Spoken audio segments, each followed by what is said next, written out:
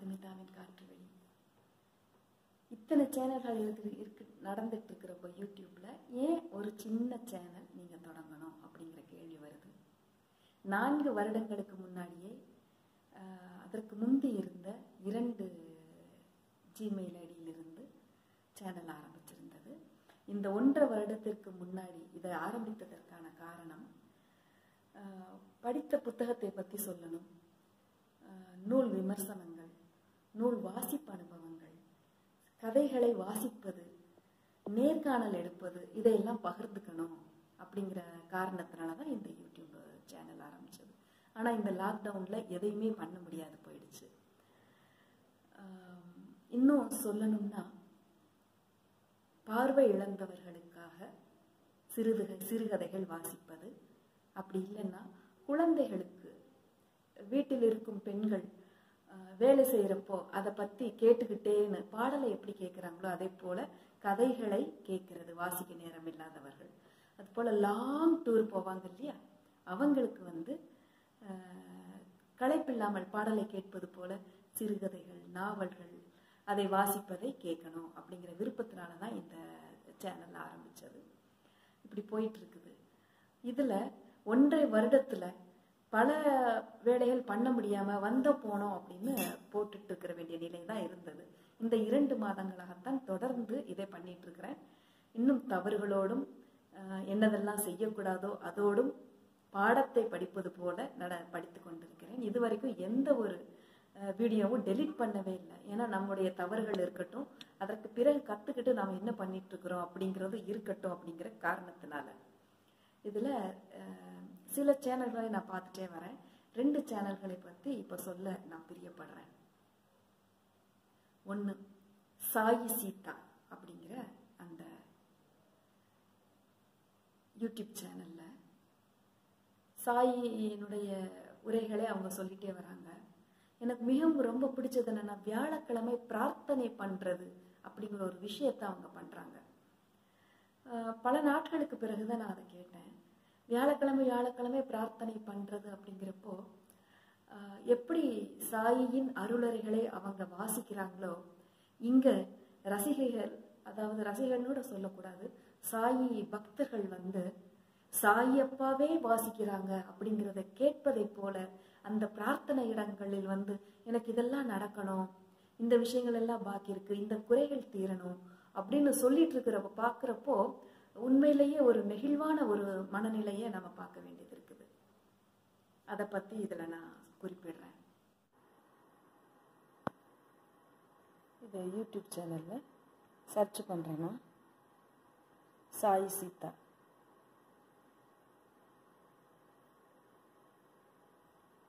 இதில் பாருங்கள் என்மேல் நம்பிக்கை இருந்தால் மட்டும் இதை கேள். விரைவில் நல்லதே நடக்கும். வியாழன் ஆசீர்வாதம் செய்ய வேண்டியது கிடைக்க நான் சொல்வதை தவறாமல் செய். இது மாதிரியான பல சாய்பாபா பற்றியது இருக்குது. இதில் தான் அந்த வியாழக்கிழமை நடக்கிறத பற்றி பிரார்த்தனையை பற்றி குறிப்பிட்டிருந்தேன். பாருங்கள் அதை பற்றி நீங்கள் பாருங்கள் அடுத்து அடுத்து இன்னொரு சேனல் என்னன்னா ஆராஸ் கதை பற்றி சொல்கிறது அதையும் இதில் நான் காட்டுறேன். இப்போ நான் கதை வாசிக்க பிரியப்படுறேன். குழந்தைகளுக்கான கதையை வாசிக்க பிரியப்படுறேன். நாவல்கள் கதைகளை வாசிக்கிறேன். அப்படின்னு இருந்தாலும் இந்த க- இந்த ஆராஸ் இதில் வந்து இதே டிஸ்கிரிப்ஷனில் இந்த லிங்கை நான் தரேன். ரொம்ப அழகாக இருக்குது படங்களோடு அதை சொல்கிற விஷயம் குழந்தைகளுக்கு அது வந்து ஆர்வமாக இருக்குது அப்படிங்கிறத. இது மாதிரியான சேனல்களை ஒவ்வொரு முறை நான் இன்னும் மறுபடியும் அடுத்தடுத்ததில் அறிமுகப்படுத்துறதுக்கு விரும்புறேன். அடுத்து இதில் பார்ப்போம்.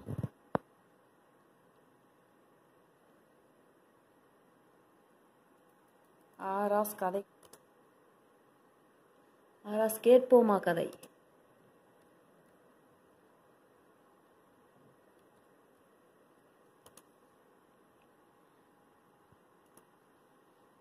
ஆ வந்துருச்சு பார்த்தீங்களா ஆராஸ் கேட்போமா கதை. இதில் தான் ரொம்ப அழகான கதைகளை.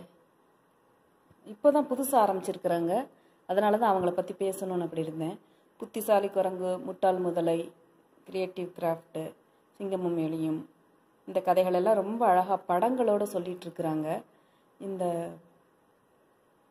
ஆராஸ் கதை ஆராஸ் கேட்போமா கதை இந்த லிங்கையும் நான் உங்களுக்கு தரேன்.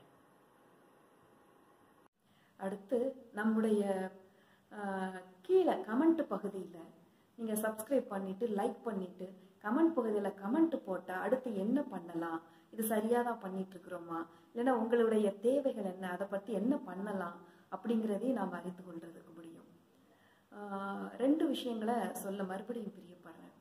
இதில் ஒருத்தங்க வந்து வீட்டுக்கே வந்து என்ன சேனல் ஆரம்பிச்சிருக்கிறீங்க? விளையாட்டுத்தனமாக பண்ணிட்டு இருக்கிறீங்க அதுக்கு முன்னாடி இப்படி எல்லாம் எழுதணும். இந்த இதெல்லாம் பார்க்கணும். அப்படின்னு ஒரு தோழி வந்து எனக்கு சொல்லியிருந்தாங்க. அவங்களுக்கு நான் நன்றி தெரிவிச்சு கடமைப்படுறேன். அடுத்து நான் குழந்தைகளுக்கான கதைகள் வாசிக்கிறப்போ ஒருத்தங்க வெளிநாட்டில இருந்து ஃபோன் பண்ணியிருந்தாங்க. தன்னுடைய குழந்தையையே பேச வச்சு அது ஒரு எனக்கு ஒரு ஐ ஓப்பன் அப்படி ஓப்பனிங்காகவே இருந்தது. ஏன்னா கற்பனை கதைகளை வந்து உண்மையாக குழந்தைங்க நம்புறாங்களா? அந்த கடல் நீர் உப்பானது கதையை பற்றி அப்- இது உண்மையான கதையா அப்படின்னு அந்த குழந்தை வந்து வாய்ஸ் நோட் அனுப்பியிருந்தாங்க வாட்ஸ்அப்பில் எனக்கு ரொம்ப பிடிச்சிருந்தது. நான் விளக்க சொன்னேன். இல்லைம்மா குழந்தைகளுக்கான கற்பனை கதை அது அப்படின்ட்டு இனிமையை வாசிக்கிறப்போ கற்பனையிலையும் உண்மை இருக்கிறத தான் சொல்லணும் அப்படிங்கிற ஒரு விழிப்புணர்ச்சியை எனக்கு கொடுத்தது.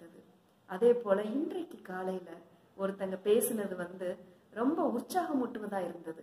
வாண்டு மாமாவின் மந்திர கம்பளம் பிளேலிஸ்ட்ல இருக்குது. பனிரெண்டு வரைக்கும் பனிரெண்டு அத்தியாயங்கள் வாசிச்சிருக்கிறேன். இது யாராவது பார்க்குறாங்க கேட்குறாங்களா கேட்கலையா அப்படின்னு பார்த்துட்டு இருக்கிறப்போ என்னுடைய அண்ணி ஒருத்தங்க மெசேஜ் பண்ணியிருந்தேன் எனக்கு ரொம்ப பிடிச்சிருந்தது அப்படின்னு வைஜெயந்தி அண்ணி மெசேஜ் பண்ணியிருந்தாங்க. அடுத்து இன்னைக்கு கஸ்தூரி பேசியிருந்தாங்க. அம்மா இன்னைக்கு நான் அன்னைக்கு நேற்று ராத்திரி ஒரு மந்திர கம்பளம் வாசிச்சிருந்தேன். இன்னைக்கு காலையில பத்து நான் வேலை பண்ணிட்டே பத்து இது தொடர்ந்து நான் கேட்டு முடிச்சிட்டேம்மா. அப்படின்னு சொன்னது எனக்கு ரொம்ப ஒரு மகிழ்வை தான் எனக்கு கொடுத்தது. அடுத்து தோழி வினோதினி வந்து இப்படியெல்லாம் நீங்க பண்ணணும். இந்த சேனல் அப்படின்னா ரொம்ப கவனிச்சு பார்க்கணும். முன்னாடி என்ன வைக்கணும்? டைட்டில் என்ன எழுதணும் அப்படின்னு அவங்க கற்றுக் கொடுத்தாங்கன்னா இன்னும் கற்றுக்க வேண்டியது ரொம்ப விஷயங்கள் இருக்குது சப்டைட்டில் எப்படி போடணும்? என் கார்டு என்ன பண்ணணும்? அதெல்லாம் இப்போதான் நான் கவனத்துக்கு ஒன்றரை வருஷத்துக்கு அதாவது நாலு வருஷத்துக்கு பிறகு ஒன்றரை வருஷத்துக்கு பிறகு இந்த இரண்டு மாதங்களா இப்போதுதான் நான் கத்துட்டு இருக்கிறேன். இன்னும் சிறப்பாக தருவேன் அப்படிங்கிற நம்பிக்கை எனக்கு இருக்குது. உங்களுடைய சஜஷன்ஸையும் உங்களுடைய கருத்துக்களையும் கமெண்ட்ல சொல்லுங்க. நீங்க சொல்றப்ப மாத்தி மாத்தி சப்ஸ்கிரைப் பண்ணி நாமளும் அந்த இதை அடையலாம் அப்படிங்கிறத தெரிவிச்சுக்க நான் விரும்புகிறேன் தினமும் ஒரு விஷயத்தை புதுசாக சொல்லணும் அப்படிங்கிற ஆர்வத்தை நீங்கள் கொடுத்துட்ருக்குறீங்க எல்லோருக்கும் நன்றி வணக்கம்.